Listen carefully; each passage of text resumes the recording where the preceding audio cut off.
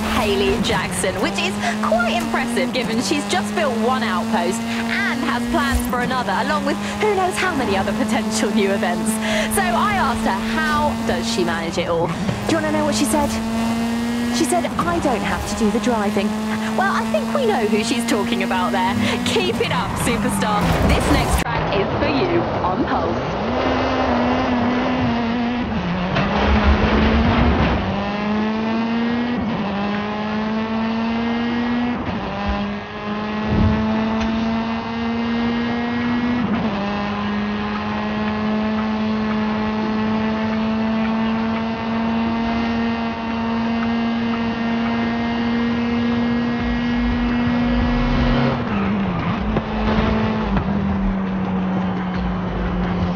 Champion.